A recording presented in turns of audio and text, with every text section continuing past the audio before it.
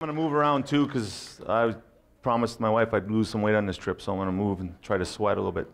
Um, that's probably not going to happen. But so, uh, first of all, I'd like to say that that um, it's really an honor to be here um, and uh, uh, to be back in Canada. I spent a lot of time in Canada looking for some really good hockey players. I was fortunate enough to coach in college hockey, um, and um, uh, have my my my best friend in the world, one of my best friends in the world former high school teammate and college teammate is from Dominion City, just down the street. So I got a chance to catch up with him last night and, and hopefully again tonight.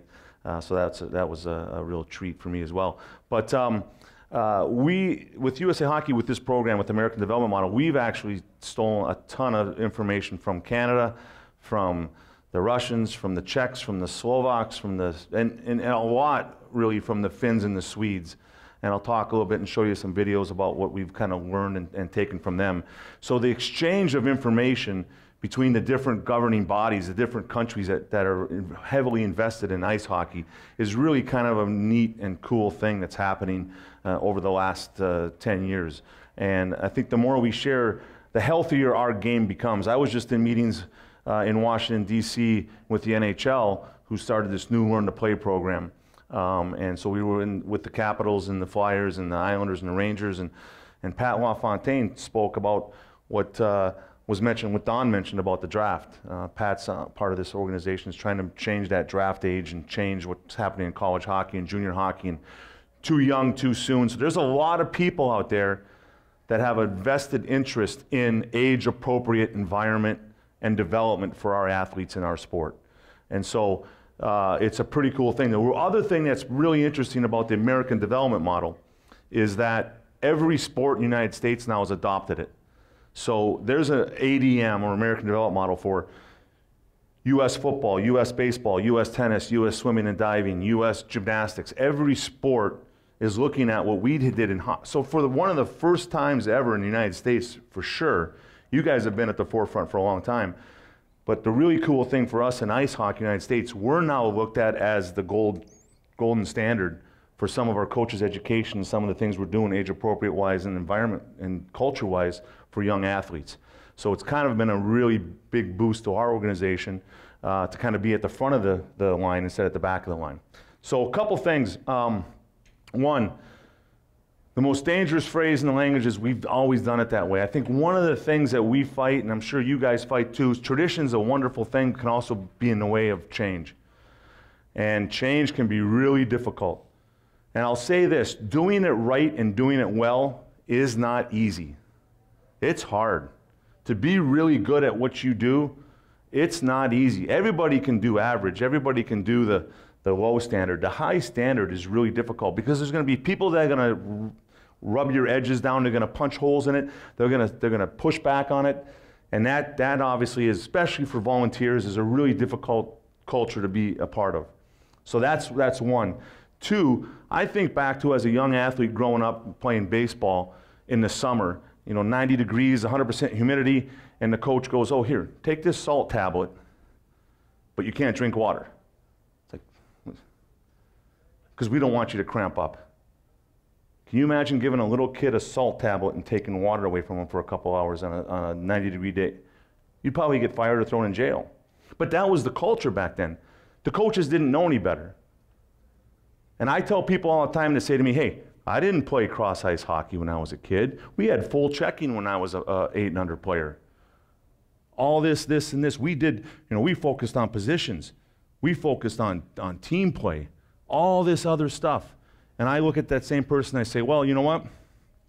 I know there's a dentist down the street and he uses the same philosophies and principles and techniques that they did 30 years ago. I want you to go down and see him. Because he's going to give you a piece of leather to bite on when he drills your tooth. He's not going to give you any Novocaine. There's no such thing as an x ray. He's going to just try to figure out where the cavity is. We know so much more now. Things have come so much further. And so we have to stay ahead of the curve. The best coaches and development people I've ever been around are the ones that would be sitting in this chair right here with their notebook out, taking notes, no matter who's speaking. It could be somebody who's coaching a Mite team who doesn't have any background in hockey. They might pick up one thing that's going to make them a better leader, a better coach. They don't think they know all the answers. And again, that's not easy. That takes work. That takes time. That takes sacrifice and discipline. Okay? So, what makes a really good sports, not even hockey, sports leader, but in this case, hockey leader? Know the age of the athlete that you're coaching and working with, and embrace and understand the science. Understand what works, why, how, and when. Don't think you know. Make sure you know. Because I'm going to tell you a quick story. My son plays college baseball in the United States. His dream was to play college hockey. But his dad was a moron when he was 8, 9, and 10. Me. Because I was coaching college hockey, and I was trying to make everybody else better, and I didn't have the time in my mind to step in and watch my son do team practices, not individual skill based practices, team practices, working on forecheck and breakout and special teams at 8, 9, 10, and 12. And when he looked at me when he was 15 and he said, Dad, I want to do what you, what, you, what you did, I said, Dominic, what's that? I want to play college hockey. And I had to step back and go, That might be pretty tough, buddy because when I watch you practice and skate, you're way behind. And it's the perfect storm. I live in Rhode Island now. I was a head coach at Brown University for 12 years, so we moved to Rhode Island. I live about a mile from the ocean. We have days in January that are 60 degrees. He wasn't able to walk down the street with his passion and go to the outdoor rink. There was no outdoor ice, there was zero. So the culture and environment that his dad allowed to happen held my son back from his dream. Shame on me. How many of you are coaching your own kids or, or are involved in this sport and in this room because you have a child who has the passion right now to be in this sport? And I would beg you, I would implore you, don't make the mistake I made. If your son or daughter has the passion to take the next step as an athlete, you want to be able to look them in the face and say, you know what? Yeah, I bought all your equipment. Yeah, I drove you to the rink. Yeah, I got up early on a Saturday and Sunday morning. I maybe wanted to sleep in. But did I put you in the right environment? Did I give you the opportunity? Did I help you build the base so that when you have the passion, when you got older, you can reach your dreams and goals? Because it just doesn't happen overnight. The great players we watch in NHL don't just all of a sudden appear on earth and they're phenomenal players. You heard it. Connor McDavid. You heard about Gretzky. You heard about the best players in the world. I've worked with these guys and girls. I work with our women's Olympic team.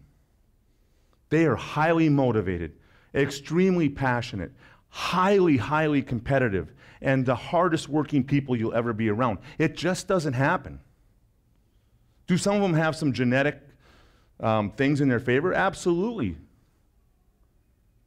But their effort and their passion and the culture and environment that they're in has allowed them to reach those dreams and those goals. So that's the challenge we have as the adults the adults in the room, we have the responsibility to make sure that if, even if it's not our own kid, that we give those kids the opportunity to reach their full potential. Hi, Sam. Hi. Okay, ride the blue bike. Okay. So Sam is 10 years old. He lives in Colorado Springs.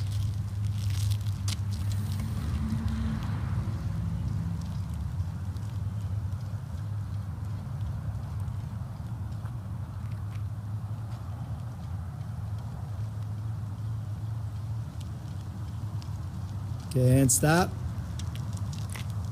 Okay. Okay, Sam, ride the white bike.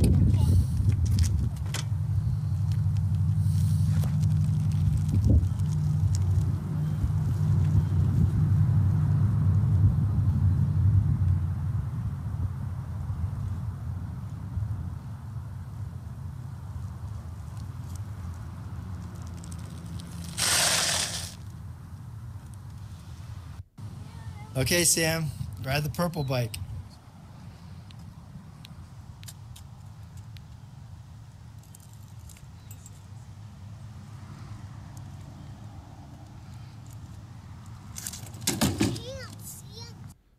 So, besides his dad being a bad person, I want you to think about Sam's face when he got on the purple bike. His body language walking up to it. Kids aren't dumb. He knows he's going in the deep end, but he can't swim and he doesn't have his little arm bubbles on. How many of the kids that you're involved with are on the purple bike?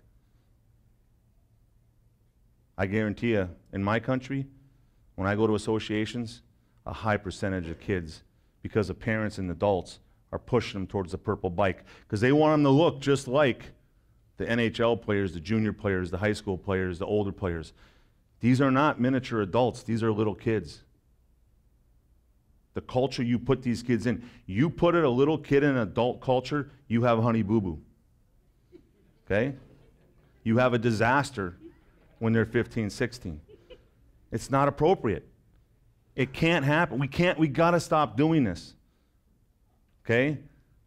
One of the things that really struck me, and, and I think Glenn mentioned it the other day, is we've seen some of the videotape that's coming out of Toronto because of the cross ice initiative at six and under. The thing that struck me wasn't the comments that the parents are making, because I lived that when we pushed cross ice in our country. I lived all that. I mean, I had machine gun turrets around my house.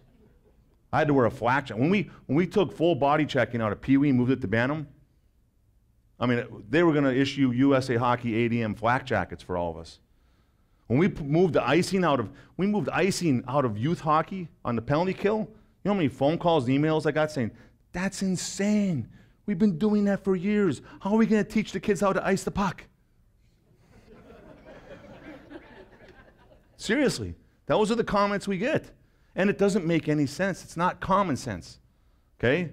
But the point is, the reason for showing you poor little Sam is when he was on the white bike, he came in and he skid, he laid rubber. That's confidence. That's passion. That's age appropriate. Purple bike, you put little kids on the purple bike too soon, they may never go back to biking. We got to make sure the kids that we're involved with are in an age appropriate environment. Because the number one factor for kids having success or anybody having success is confidence. Are we building confidence in young kids? Or are we trying to force an environment that they're not ready for? Okay? And this is what it's all based on. Hey, you guys have a treasure up here and a guy named Doc Norris. He unbelievable what this guy. I mean, this guy's just a unbelievable amount of knowledge because everything we do down there is based on science. It's not and, and, and, and Glenn mentioned it up here in the panel. We're not trying to change this stuff to get parents and coaches and administrators mad at us.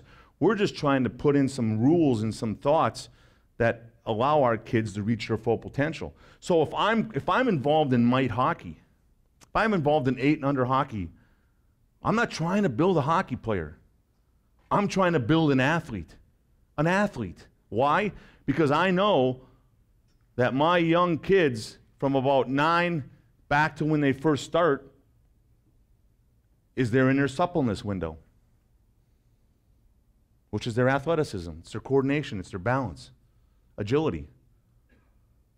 I know that. I have to maximize that. When we were kids, and I don't know what it's like up here in Canada, but in the United States, PE classes, I used to go to PE class an hour a day. Kids in our country now are going to PE class an hour a week. Recess used to be 45 minutes, and we used to go out there and play flag football and climb on swing sets and jungle gym. Recess is now 10 minutes if they even go outside at all because it might be a little bit windy or cold or rainy, right? So we've taken all this away from the kids, and yet we bring them into our structured environment, and we're worried about positional play and, and, and, and uh, team play and all this other stuff when all I should be doing is worrying about building a young athlete, building the base. If I'm coaching 12 and under, and I see the kids are in their skill acquisition window, okay? I'm worried about touches and repetitions. I'm trying to build that base of skills so that I don't have to go back and try to make it up. Those of you that maybe have kids that are in Bantam or coach Bantam or involved in older kid hockey, how many of you think? I've never heard an NHL coach or a GM say, or a scout say, watching a team game, oh, that kid's way too skilled. He's way too skilled. We can't take him, he's too skilled. They're dying for skill. Because I can, when they get older, I can coach structure. I can force discipline. Okay? I can pull a kid back. I can't push him forward. So I got to make sure that I'm not the person as the adult who's sucking the life out of these kids And then when they get older, someone trying to put it back in. Because they're at a really critical stage for all these windows. And then I got coaches come up to me and say, but if we don't play full ice, how am I going to get them in shape? And then the sports scientists say, well, stamina doesn't really kick in until about 13. You can't get them in shape. There's no such thing. Oh, we got to do 20 minutes of warm up for an eight year old. You're going to warm up. I see guys out there doing stretches. Little kids are stretching out. And I say to them, okay, let me, let me ask you a question here. Take these eight year olds, put them in bed, let them sleep for 10 hours. You go in there with an air horn and you tell them there's a brand new iPhone at the end of the street and go, eh, how many hamstrings are going to get pulled? Zero. Zero hamstrings will get pulled. Why? Because they're made of rubber.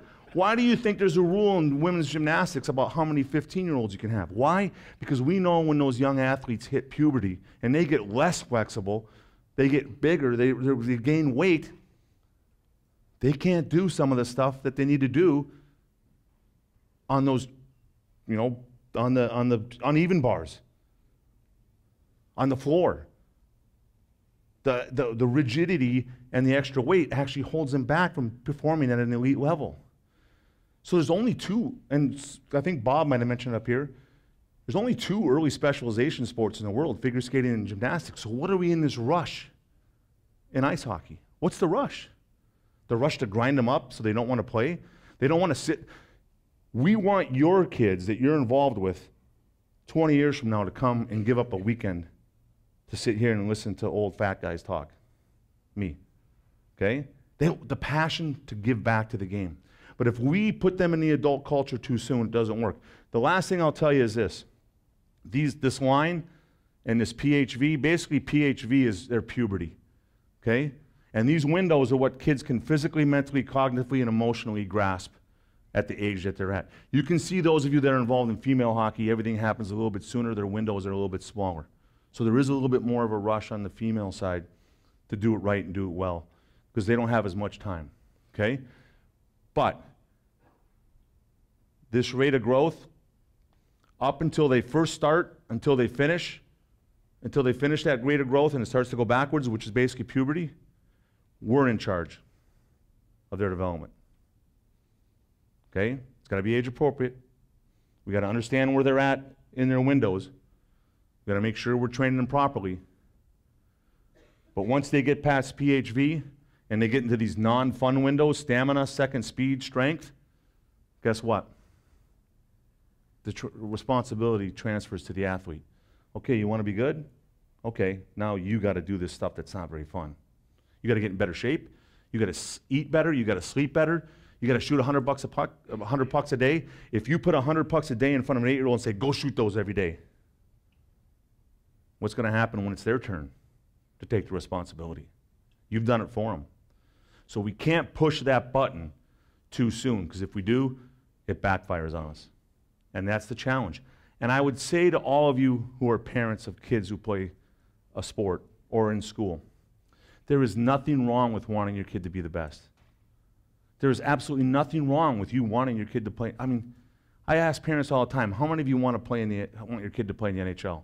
Not a single parent raises their hand. I look at them and go, you are completely out of your mind. You know you want your oh, so you don't want your kid to make six, seven million dollars playing a sport they love? That's a bad idea. That's a, that's a really a bad idea.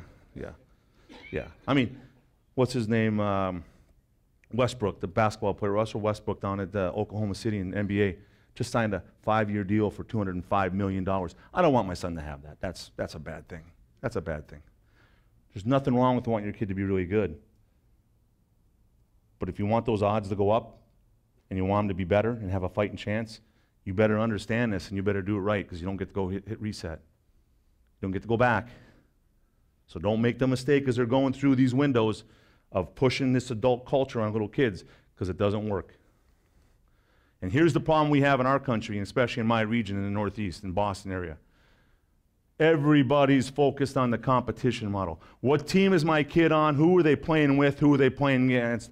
And guess what? We got split ice practice. We got the squirt B team down at this end and the squirt A team down at this end. And God forbid those B kids come over on the A side because they will suck the life out of those A kids. Those kids suck. Keep them over there. There's the red line. It's the Great Wall of China. Do not come over that line. God forbid we put kids together. Okay? Why wouldn't we? That's what they did in the pond. We had vertical coaching on the pond in the outdoor rink. I'm a little 10 year old who's got wants to play and horse around. I'm playing with 16 year olds. Right? There's no rules. There's no adult saying you can't do that. No, we did it. We figured it out. So let's give the game back to the kids. Okay? Let's give it back. And let's get off this competition model. Let's not worry about who we're playing with and against. And we live in, you know, we live in Manitoba. Do we have to go over to Ontario? I mean, depending on where you live, you can cross over the border and go to the States. Maybe if you live down south, and you live out east, go over in Ontario. You live out west, you go over to, what's the next one over? Uh, Saskatchewan, Alberta? No, Saskatchewan, right. I should know that. I've spent enough time on those highways out there. It's brutal. So, um, now, I'm just joking. Love it. But we, we're focused on the competition piece, and we've completely lost all common sense when it comes to the training piece. Practice has become broccoli. The outdoor rinks become non existent. And we're playing 50, 60 games a year and our kids aren't getting the touches and repetitions because they're not getting this stuff. They aren't getting this. Think about this. How are your teams constituted in your associations? What's your roster sizes? You got 15, 16 kids on a roster?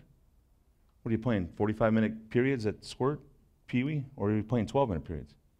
Just do the math. You're going to commit two or three hours on a Saturday and Sunday?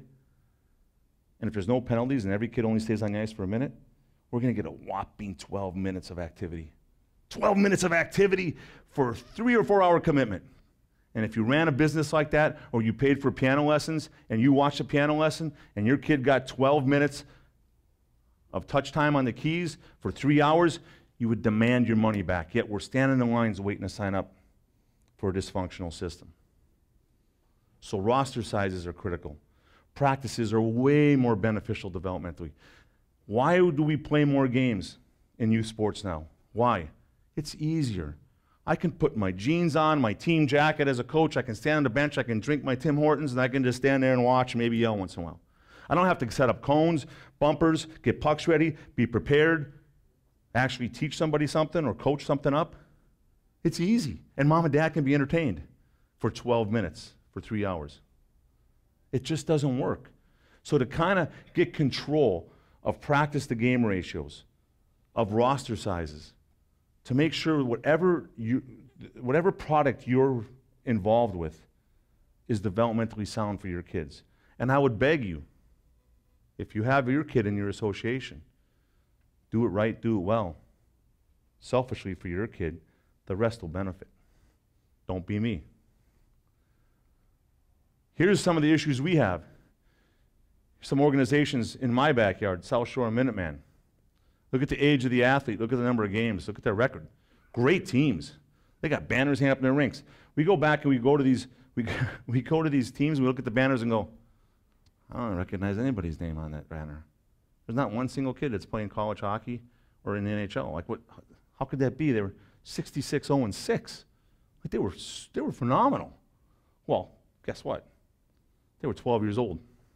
They're a long ways away from that next level. And by playing that number of games, they don't get better. Yet, our highest level, our highest level in our country, college hockey, okay, 34 games. 34 games. How can 12 year olds double that up? And somebody mentioned college hockey up on the stage. I did it for 20 years, coached it. Four practices a week, two off ice sessions with a certified strength coach, and two games on the weekend. Well, that should be Bantam hockey. Practice the game ratio, three to one. You watch the Olympics. Watch the Olympics. Any, watch every, every event swimming, track and field, you name it. Even the, the foreign countries, the non North American countries. Where do most of those athletes train nowadays? Colleges. Why? Because the environment. It's training heavy. It's not competition heavy, it's training heavy. You don't get better through competition, you get better through training. Okay? There's any questions that pop up, there's no such thing as a bad question. And believe me, I've been doing this for nine years. I've heard everything possible. And here's the problem we have. This is from two years ago, and, and Glenn shared some numbers with you last night. This is why we went over to Sweden and Finland and said, hey, wait, wait, wait a second, what's happening over there? Like, what's going on over there? So we see these numbers, and listen, I'm not, my job isn't here to develop NHL players. But when we see 48,000 kids and 16 NHL players, we go, okay, that, that's actually, that's, that's okay. And then we see 39,000, 33, and then we see 41,000 and 77. We go, wait a second here. How did we let these guys get ahead of us? What the hell were we doing to let these guys get ahead of us in our own game? What happened? And then you go over there and you find out, well, the focus in those two countries is not on the team, it's on the individual. If, if I'm in charge of a 10U team, I don't coach 12 10Us. I coach 12 individual athletes, not the team. Oh, and in Sweden, they don't even encourage leagues or playoffs until 14. They just play and they train. I had a buddy of mine that does, and, and they started the ADM, the version of ADM in Finland and Sweden. This is how committed they are to this program. There's seven of us in the United States for almost 400,000 kids. There's 20 ADM regional managers in Finland and like 24 in Sweden, plus a skills coach for each one of those guys and a goalie instructor for each one of those guys. Full time to go around and make sure that the kids in their countries and in their associations are getting what they deserve and what they need. They're held accountable to do it the right way. Oh, and guess what? You want to do the loop and shoot for 25 minutes? You're going to do 30 minutes of power skating to start every practice? Come here. Give me your whistle. Give me your card. You're out. You want to do it? Get in. They don't mess around because they know it works. And the numbers are proving it out. The numbers are proving it out. Okay? And, and why, why do they have to be so good? There's one reason they have to be really good at what they do with the little kids and, and, and their development because they're small. If this is Manitoba and you're trying to compete against Ontario and Alberta and BC, numbers wise, you better be really good. You can't do what they do. You don't have the numbers. Your, your, your number of survivors through a dysfunctional system will not beat the survivors of the dysfunctional system Ontario. They've got more numbers. It's going to be harder for you. You've got to be better. You can't do the same. And the mistake that's happened in my region, in the United States in particular, is everybody's so concerned about what their neighbor's doing. Oh, our best three players went to this place. Then we got to do what they do. No, no, no. Don't worry about what your neighbor's doing. Do what you do and do it really well. Do it really, really, really well. Okay? Because if you do it well, it doesn't matter what your neighbor does. They're going to come to you. you know, if I have a little, little hardware store and Lowe's and Home Depot move in next to me, I can't try to be Lowe's and Home Depot. I can't do it. I don't have the resources. I don't have the building. I don't have the finances. I can't do that. So I better be really good at service. I better be really good treating my customers well. I better watch my prices a little bit. And I might be the guy that they come in and I don't have what they have, and I might say to them, Oh, you know what? You should probably go to Lowe's or Home Depot. Hey, thank you. I appreciate that. I'm not the guy that's going to sit there and go, oh, Lowe's and Home Depot, they suck. They're awful. They're, they're killing me. Ah, da, da, da. The customer doesn't want to hear that. So to complain about what's happening around you and worry about what's happening around you, I've seen it time and time again. I'm just, I'm giving you advice here based on what I've seen and I live. Because I've seen what doesn't work and I've seen what works. And it's night and day. Aren't we lucky to have the whole ice tonight?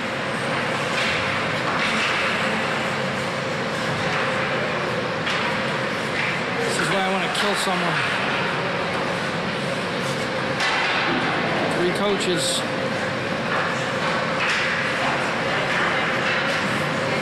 Full ice.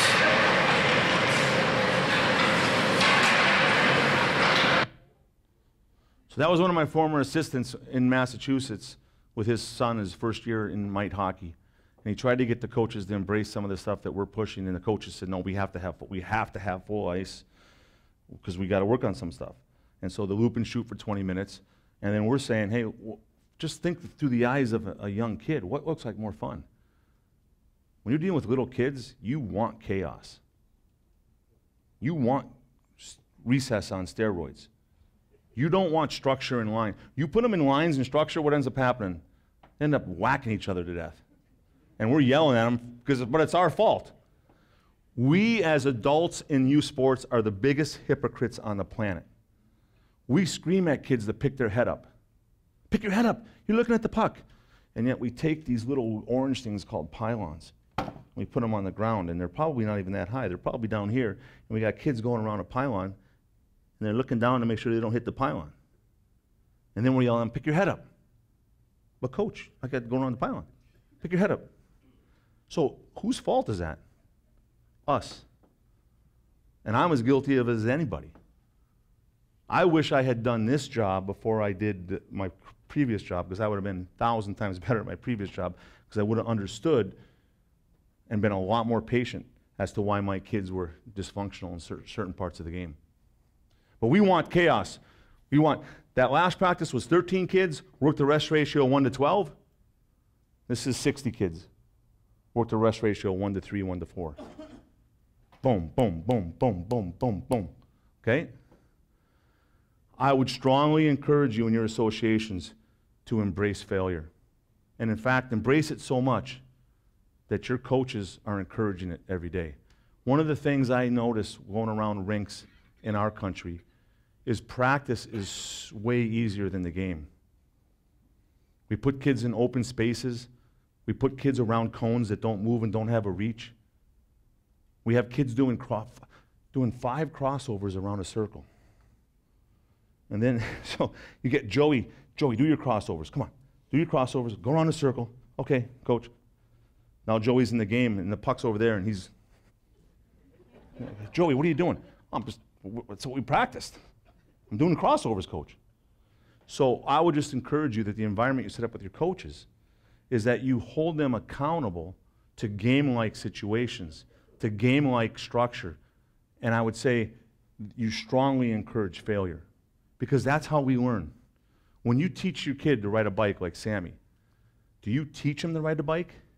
Or do you set up a safe environment and you fully expect they're going to crash? And in fact, you know they have to crash in order to get better. Now, you might step in and give a few, hey, put your feet down, you know, put your feet down. Don't brake the front brake only because you might flip you over. You might give them some pointers, but you still know they have to fail in order for them to learn and to be safe. Okay?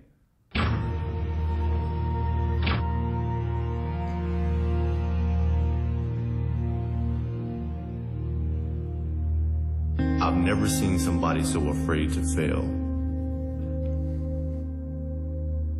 I've never seen a society so afraid to fail. Pride and ego have taken the forefront of athletes' work ethic, pushing back the vulnerable mentality it takes to improve one's game. We obsess over perfection while forgetting the process of imperfection it takes to get there. Show me a player who's shooting 100% in practice, and I'll show you a player who's not taking game-like shots. Show me a player who doesn't lose the ball, and I'll show you a player who isn't going hard enough. Show me a player who doesn't make mistakes, and I'll show you a player who's not getting better. it's funny because the other day, a player came up to me and said, Hey Trey, how many free throws did you miss? I said, 14. What about you? He said with a smirk on his face, zero. I said, well, how many did you shoot? He said 15. I said, I shot 100. Fail harder. I challenge every hooper who steps foot on that court. Fail harder. Don't worry about what your coach may think. Don't worry about your friends judging you. Nobody. Any coach who bashes you for taking a risk and making a mistake, he's no longer a coach. He's a critic. Any friend who judges you for your mistakes in practice aren't your friends anyway. While they're busy critiquing, let's get better. Let's see who really has the last laugh. Tell them to enjoy their time now because our time is coming. All we did was take the long way, the right way. Fail harder now so you can succeed easier later. So to me, as a, as a former, as a coach, and I see the, the line about any coach who bashes you for taking a risk and failing, isn't a coach, he's a critic. And I look at myself and I go, God, that was me. I, I was that guy. I was that guy because I thought I was being judged on my wins and losses. I thought that's what made me, I felt good when we won. I felt terrible when we lost. And it should have been, am I doing the right thing by the individual kids that I'm in charge of? Am I doing right by them? Am I taking the right way? So I've got coaches around New England now going to their kids, fail harder, fail harder. And everybody's looking at me like, what, what are you talking about? And they're like, well, I saw this video. So, but I would encourage you to embrace that because your coaches feel like everybody up in the stands is judging them. If they're not standing in line and everything's not perfect, they think that they look bad. And so we end up becoming the worst of our uh, uh, worst hypocrites in the planet because we're so worried about how it looks, not necessarily how effective it is. And our job is to make kids better, okay? And make sure they want to come back and play next year. Judge your coaches by did the kids get better and did they sign up for hockey the next year? That's a win. That's a, that's a win win. That's two wins, okay? And the most important ones. I talked about it earlier with the cones flow versus conflict, adding stuff in practice that looks more game like because our kids aren't getting that game like situation. So encourage your coaches to add more game like situations and get away from what we call static drills. Static drills, okay? And do more things that force kids, because guess what? The best athletes I've ever coached, they had two things the computer and the heart. I can teach a kid to skate. I can make them faster. I can make them stronger if they have passion. But you know what? The hockey sense part of it is so critical. It separates the good from the great. Okay? When you come to a team like the Detroit Red Wings and uh, when you arrive, Steve Yzerman's like that, or Nick Lidstrom's like that, or or now when you arrive, Pavel Datsyuk is an absolute workaholic on and off the ice. It's not by accident that these guys are this good. It's because they work that hard. And when you watch Pav every day after practice or before, and you watch how hard he works, it's no, it's not by accident he's as strong as he is and and can play the way he is. And so to me, that's what separates. There's lots of nice players in the league, uh, but they don't get to play long at the end of the year because it's not about being a nice player. It's about winning your battle every time you're on the ice. And there's no space and there's no room, and the ice gets worse as the year goes on. And so it's not about being pretty, and it's not about open ice or who looks good in practice with no pressure on them. It's who can make a play in a small area and win a battle. To me, that's the game. So one of the things we're trying to push in the United States is when you do your tryouts, like I don't care if a kid can go through a slalom course with the puck faster than the other kid. So we're strongly encouraging tryouts for all small area games, cross ice, play three on three, play four on four. See who can actually play the game. Right? It Doesn't matter if you can go around the circle faster, go end to end faster. It just doesn't matter. It doesn't matter at all. In fact, we just got an analytics study back. NHL, they timed guys goal line to goal line to see how fast. I think it came out of Alberta, if I'm not mistaken. See how what their maximum speed was. And then they tracked those players an entire season you know how many games that they hit maximum speed in? Zero. So how important is it? It's not important at all. Doesn't mean anything. Doesn't translate to the game. So is the environment and culture that you created actually allowing your kids to have success on the weekends because of what you do during the week? Okay? This is what all the best coaches in our country are telling us. What separates the good from the great? Hockey sense, the mental part of the game. Hard to coach. It has to be experienced. Okay? It has to be experienced. Train the brain. Okay? So here's something that, that a lot of associations now, because of what we're pushing, are starting to do. These is, this is the hardboard system we have in the U.S. I'm sure you guys have them up here. But this association took it a step further and they put a netting system on. And this is a group of peewees in Michigan. And one month, one weekend a month during their, their league schedule, they play four on four half ice. Peewees, 12 and under. Why? Because we figured out that all these situations are hard to, to simulate in a full ice game. Okay? And it happens over and over and over. It's the pond. It's the pond brought inside in the structure. Okay? And so in practice, if I had to do it over again and coach college hockey with 30 guys my size every day, I'd buy the hardboard system, I'd buy the netting system, and they'd come to practice, and two days a week we'd start practice with four on four half ice. U.S. volleyball is the most successful team sport in Olympic history in the United States. There's no, there's only 10 Division One programs. There's, unlike here in Canada, there's absolutely zero youth volleyball on the male side. It's all on the female side. So what do you think saved U.S. volleyball? Beach volleyball. Why is beach volleyball so popular, so, so, so beneficial developmentally? There's no positions. Everybody's a defender. Everybody's a blocker. Everybody's a spiker. Everybody's a server. You got to be a really good volleyball athlete to succeed in that sport. There's no positions. Okay? And so they train like beach volleyball when they get together as a team. They set up 10 mini courts. And so this is to me is the game changer. One last thing, okay? One thing I would strongly encourage you. This is I spent uh, two weeks in Finland uh, two Februarys ago. This is their 14-year-olds in their national camp. This is a group of 10-year-olds above the Arctic Circle in Rovaniemi. When I went and ran this practice for these guys, this, their 10-year-olds do this 35 minutes, three days a week before practice in the lobby of the rink. This kid's not wearing a $250 CCM sweatsuit. He's got a sweater vest on, for God's sake. Okay? Looks like Leave It to Beaver. Those of you that are my age. But I will tell you right now, Jerry Mathers, I think that was his name, wasn't it? Could not do that without snapping his ankle. And my 10 year old kid, when he was 10 years old, was no way was his, athletic, his athleticism, his rhythm, his footwork was like that. They have a station based off ice practice, 35 minutes. They're doing tumbling on this gray mat this bench work, footwork, and then down here at the other end of the lobby, you can see they're doing some uh, uh, core stuff and other things. A commitment to building athletes. Why are they ahead of us? They understand sports science. So we're strongly encouraging our associations to adopt some type of on off ice training in conjunction with practice. So practice isn't just an hour, it's an hour and a half. Okay?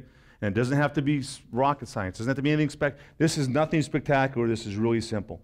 And by the way, in the lobby, they were playing death metal. So it was a really cool environment. Here's some of our best 14 and 16 year olds in our country. hey. Don't laugh at us in the U.S. I guarantee if you brought your 14 and 16 year olds, they'd look just like ketchup and mustard right here. Look at these two guys. They're looking at each other like, what the hell am I doing?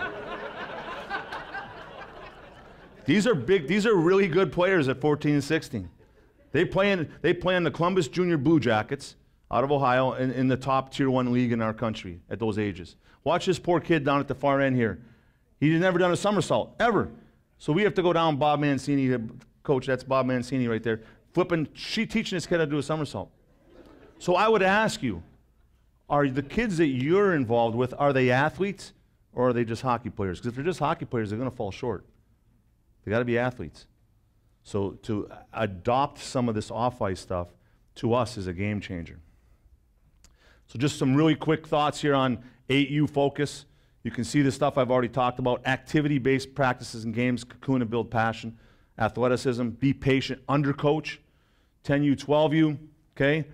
Some of the keys, differences as they go up, the member touches and repetitions, skill acquisition, training model versus competition model. And then 14, 16U, the biggest difference here is quality, quality habits, okay? Off ice training piece and decision making. And again, you pass the responsibility for the development to the athlete, okay? Four things I hope you took out of this today appropriate culture, environment, and training in your associations. The commitment to the individual athlete. Every kid that signs up in your association, you're giving them the opportunity to get better and build passion. Okay? Passion plus development equals winning. Sometimes you got to lose games early in the year. Good coaches are not afraid to lose games early in the year to, to help kids get better, okay? And a quality off ice programming. It's absolutely critical in today's world with your athletes. Absolutely critical. Folks, thank you very much. I really appreciate your time.